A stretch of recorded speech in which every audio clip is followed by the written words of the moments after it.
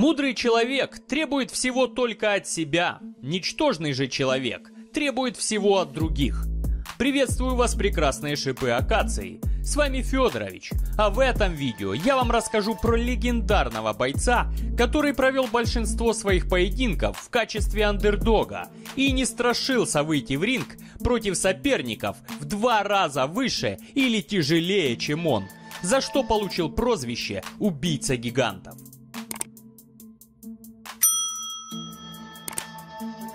Икухиса Минова – легендарный боец для японских любителей единоборств, который при росте в 175 сантиметров и весом всего 85 килограмм выходил в ринг против настоящих гигантов, которые были тяжелее на 50, а иногда и на 100 килограмм. Но что более важно, были выше на несколько десятков сантиметров, что дает невероятное преимущество в бою за счет длинных конечностей. Убийца гигантов выступал в таких организациях, как UFC, Pancrase, Dream и, конечно же, Pride, где и произошел расцвет его славы. Всего Минова провел 110 поединков, 62 из которых выиграл, при этом не посещая больницу, как завсегдатая бабка с газетой. Казалось бы, не слишком яркий рекорд, но нужно учитывать, что в большинстве поединков он был андердогом и дрался или с лучшими, или с самыми огромными бойцами своего времени, в числе которых были Айвел, Крокоп, Дон Фрай, Гигант Сильва, Корейская Годзилла и много других. В общем-то, на такие поединки мы и посмотрим. Для студента лекция не эрекция, можно и отложить, а вот для бойца поединок отложить нельзя. Даже когда выйдя в ринг, ты видишь перед собой противника в три раза шире. 26 августа 2006 года. Япония. Турнир Pride Bushido 12. Соперник Эрик Эш по прозвищу Баттербин, про которого я, кстати, делал видео. Неопытному зрителю, который случайно бы увидел этот бой, наверняка показалось бы, что это сценка из фильма про супергероев, где человек-зефир должен сожрать защитника Земли без кетчупа и хрена. Между прочим, вес Баттербина 170 килограмм против 85 Миновы.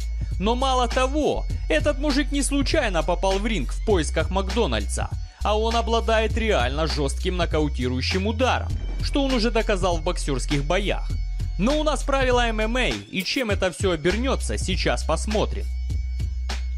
Несмотря на то, что Эрик изначально в партере был сверху, Минова как муравей на жирной гусенице начал кружить в партере вокруг Эша, пока не вышел на болевой локтя, заставив огромного боксера сдаться.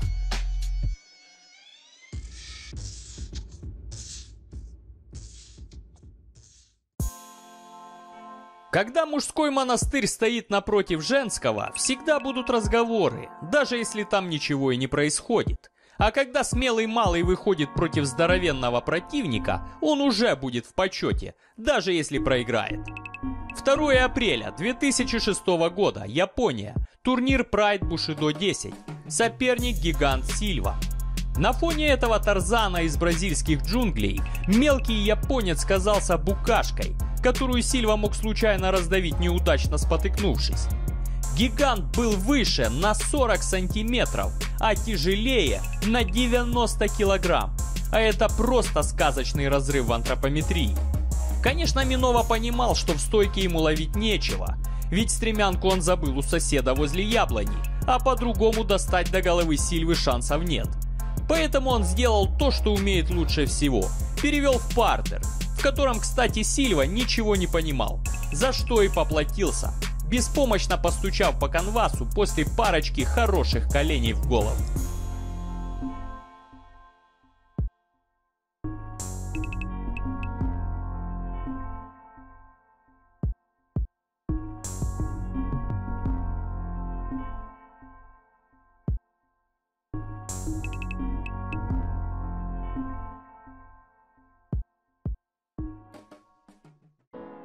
Невозможно понять три вещи. Откуда берется пыль, куда деваются деньги и как можно драться против соперника, который в три раза больше, чем ты. 31 декабря 2007 года. Япония. Турнир K1 Premium. соперник Зулузинью. На этот раз Минова решил побить все возможные рекорды и согласился встретиться с настоящим мутантом, которого можно было бы ставить боссом в любой игре про монстров. Ведь Зулузиньо имел 201 сантиметр роста и 180 килограмм веса. Ему достаточно было просто разок упасть на малыша сверху, чтобы тот увидел весь свой завтрак. Но мало того, Зулузиньо был не так прост и обладал пурпурным поясом по джиу-джитсу, а это усложняло обычный план на бой японца.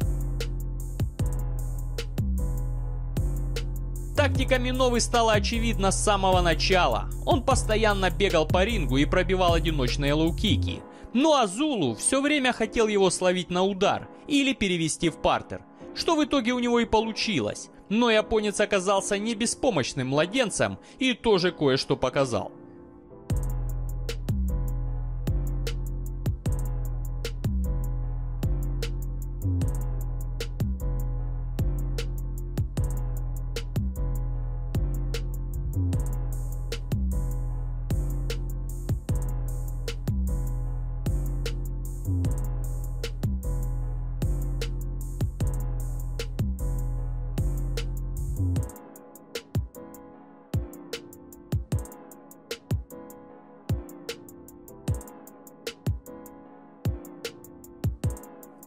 Второй раунд японец решил начать по такой же схеме.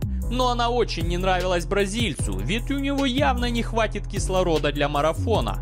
Поэтому, включив вторую передачу на своем тракторе, Зулузиню подрезает мопед Миновый и переводит в партер, где давит и бьет, что есть мощи.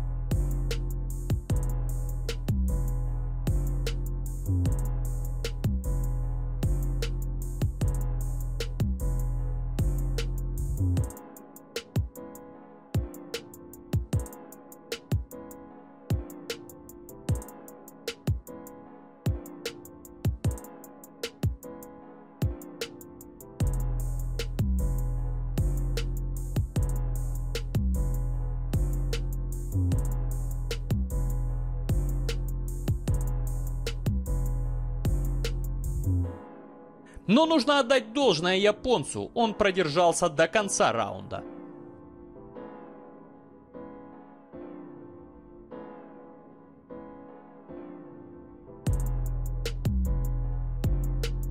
Финальный раунд прошел по такому же сценарию. Минова хотел отбегать, а Зулузиньо хотел перевести в партер и раздавить, что в общем-то у него и получилось.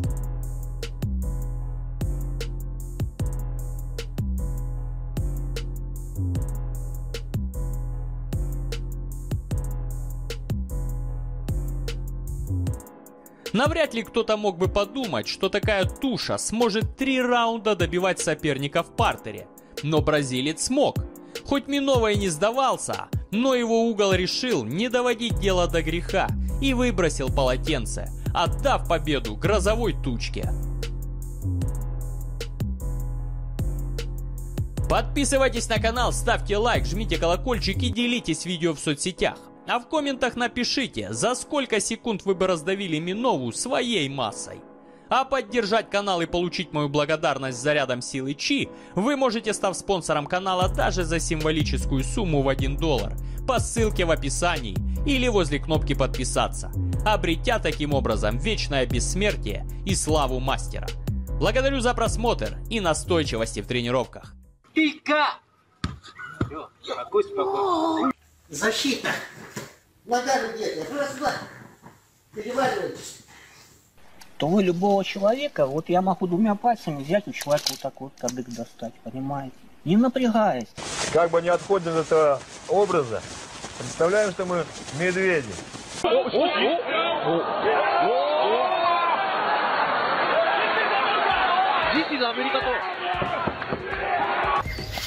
Нас окружили волки. Начинаем танцевать и отбиваться соответственно. Хоба, Оба, оба. Вот так.